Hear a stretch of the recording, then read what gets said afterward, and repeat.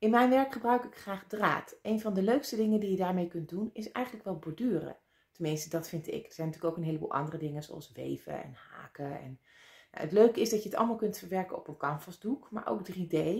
Dus het hoeft absoluut geen plat werkje te worden. Dus mijn tip voor deze week is eigenlijk wel dat je aan de slag gaat met draad en borduren.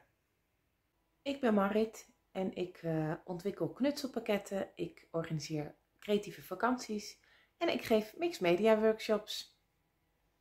Als je gaat starten met uh, borduren op canvas, begin dan eventjes met een, een proeflapje, met een proefdoek.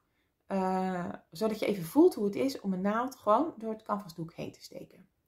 In principe kun je alle steken doen die je ook op stof zou kunnen doen.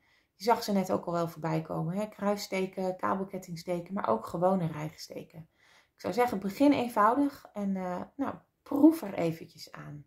Ik ben heel benieuwd naar uh, hoe je dit vindt. Groetjes!